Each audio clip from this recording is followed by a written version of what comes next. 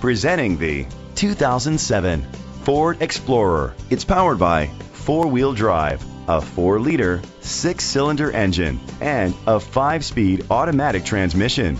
The features include tow package, alloy rims, auto-dimming mirrors, roof rails, keyless entry, power mirrors, traction control, anti-lock brakes, privacy glass. Inside you'll find adjustable lumbar seats, a satellite radio, an auxiliary input, front airbags, side airbags, child safety locks, an adjustable tilt steering wheel, power seats, cruise control, air conditioning.